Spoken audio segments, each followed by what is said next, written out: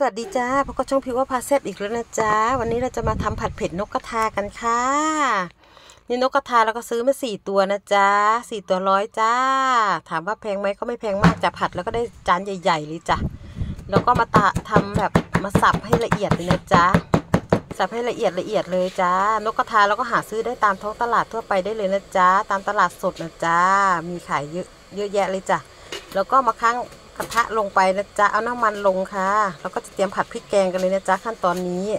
แล้วก็เอาพริกแกงลงไปเลยค่ะพริกแกงลงไปผัดให้หอมๆจามสามบ้านเจ็ดบ้านกันเลยจ้าก็เตรียมผัดผัดผัดผัดจะผัดให้ผัดให้พริกแกงได้ที่แล้วเราค่อยเอานกลงไปนะจ๊ะนกเราก็ไม่ลวกไม่อะไรก่อนนะจ๊ะเพราะว่าเราจะเอาแบบผัดลงไปอย่างนี้เลยจ้ะเอาเอาลงไปผัดอย่างนี้เลยนะคะ แล้วก็พริกแกงหอมเลยจ้ะพริกแกง ผัดพริกแกงจนเหลืองหอมแล้วจ้ะแล้วก็เอานกลงไปเลยจ้า พอนกลงไปแล้วก็ยียียียียีนะคะยียียีให้มันแตกจ้ะพอให้มันแตกสักแป๊บหนึ่งจ้ะแล้วก็ผัดผัดไปเรื่อยๆจ้ะน้ำมันก็จะออกนิดๆนะจ๊ะน้ำจากตัวนกนะจ๊ะก็จะออกนิดๆนะจ๊ะนี่แล้วก็ผัดเลยจ้า ผัดแห้งๆอย่างนี้เลยนะจ๊ะยังไม่ต้องใส่น้ำจ้ะนี่ค่ะ พอผัดเสร็จแล้วพอน้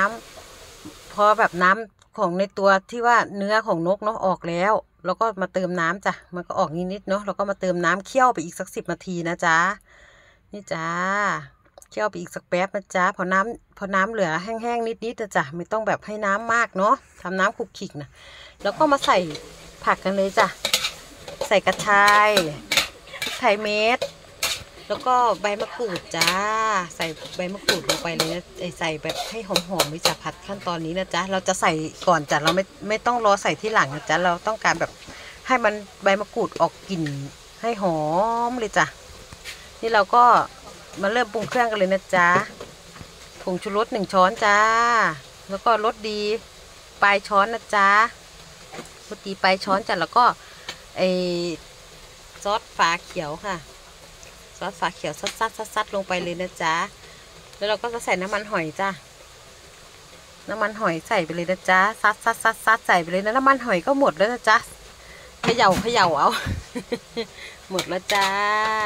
นี่เราก็มาเตรียมคนคนคนคนเลยนะจ๊ะ ผัดผัดผัดผัดเลยจ้าขั้นตอนนี้หอมมากเลยนะจ๊ะ แล้วก็มาผัดให้มันแบบเข้าเครื่องเข้าเนื้อเข้าหนังกันนะจ๊ะ เครื่องปรุงนะจ๊ะ แล้วก็มาผัดแล้วเราค่อยใส่ใบกะเพรานะจ๊ะ นี่มันน้ำมันก็เริ่มนวดเริ่มแห้งแล้วนะจ๊ะ มันน้ำมันแห้งเลยจ้ะพอเราขึ้นก็แห้งเลยนะจ๊ะ นี่ไงไปมันก็น่ากินน่ากินขึ้นมาแล้วค่ะ